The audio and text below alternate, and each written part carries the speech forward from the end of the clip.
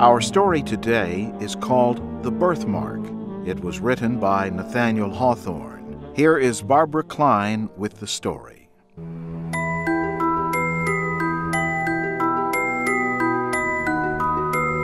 A long time ago, there lived a skillful scientist who had experienced a spiritual reaction more striking than any chemical one. He had left his laboratory in the care of his assistant, washed the chemicals from his hands, and asked a beautiful woman to become his wife. In those days, new scientific discoveries, such as electricity, seemed to open paths into the area of miracles. It was not unusual for the love of science to compete with the love of a woman. The scientist's name was Aylmer. He had so totally given himself to scientific studies that he could not be weakened by a second love.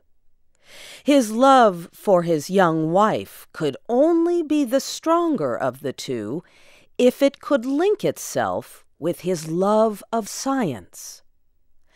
Such a union did take place, with truly remarkable results. But one day, very soon after their marriage, Aylmer looked at his wife with a troubled expression. Georgiana, he said, have you ever considered that the mark upon your cheek might be removed? No, she said, smiling. But seeing the seriousness of his question, she said, The mark has so often been called a charm that I was simple enough to imagine it might be so.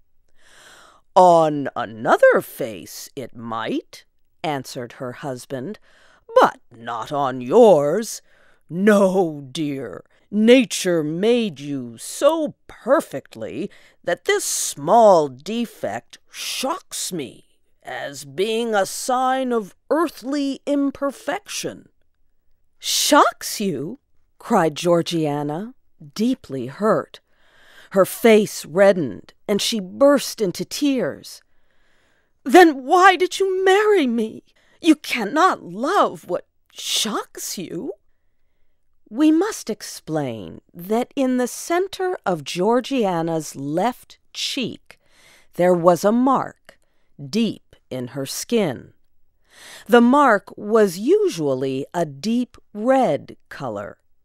When Georgiana blushed, the mark became less visible. But when she turned pale, there was the mark, like a red stain upon snow. The birthmark would come and go with the emotions in her heart. The mark was shaped like a very small human hand. Georgiana's past lovers used to say that the hand of a magical fairy had touched her face when she was born. Many a gentleman would have risked his life for the honor of kissing that mysterious hand. But other people had different opinions. Some women said the red hand quite destroyed the effect of Georgiana's beauty. Male observers who did not praise the mark simply wished it away so that they did not see it. After his marriage, Aylmer discovered that this was the case with himself. Had Georgiana been less beautiful, he might have felt his love increased by the prettiness of that little hand. But because she was otherwise so perfect, he found the mark had become unbearable.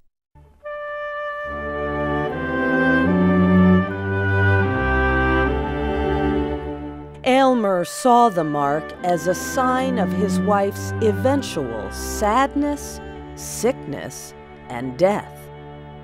Soon, the birthmark caused him more pain than Georgiana's beauty had ever given him pleasure. During a period that should have been their happiest, Aylmer could only think of this disastrous subject.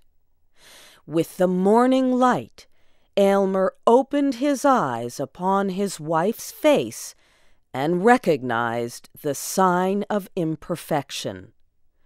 When they sat together in the evening near the fire, he would look at the mark.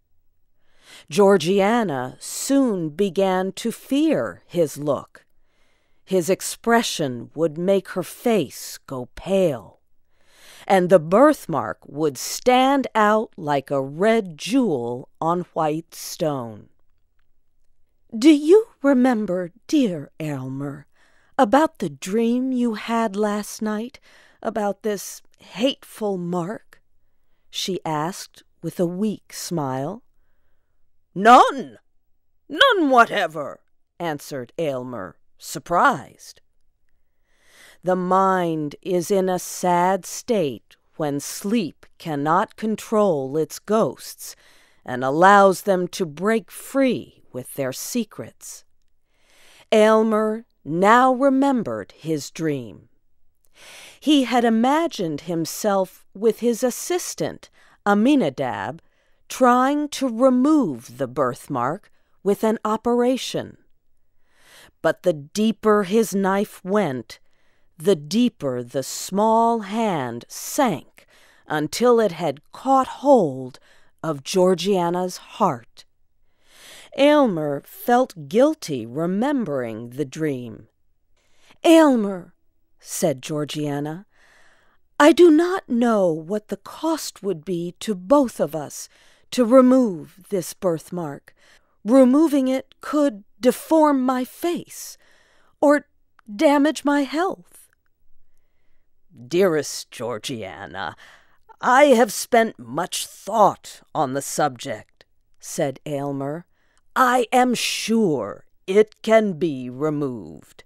Then let the attempt be made, at any risk, said Georgiana. Life is not worth living while this hateful mark makes me the object of your horror. You have deep science and have made great discoveries. Remove this little mark for the sake of your peace and my own. Dearest wife, cried Aylmer, do not doubt my power. I am ready to make this cheek as perfect as its pair. Her husband gently kissed her right cheek, the one without the red hand.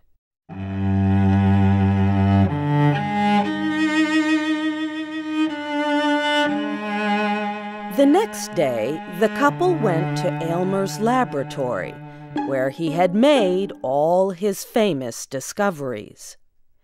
Georgiana would live in a beautiful room he had prepared nearby, while he worked tirelessly in his lab. One by one, Aylmer tried a series of powerful experiments on his wife, but the mark remained. Georgiana waited in her room. She read through his notebooks of scientific observations. She could not help see that many of his experiments had ended in failure. She decided to see for herself the scientist at work. The first thing that struck Georgiana when entering the laboratory was the hot furnace. From the amount of soot above it, it seemed to have been burning for ages. She saw machines, tubes, cylinders, and other containers for chemical experiments. What most drew her attention was Aylmer himself. He was nervous and pale as death as he worked on preparing a liquid. Georgiana realized that her husband had been hiding his tension and fear. Think not so little of me that you cannot be honest about the risks we are taking, she said. I will drink whatever you make for me, even if it is a poison. My dear, nothing shall be hidden, Aylmer said. I have already given you chemicals powerful enough to change your entire physical system.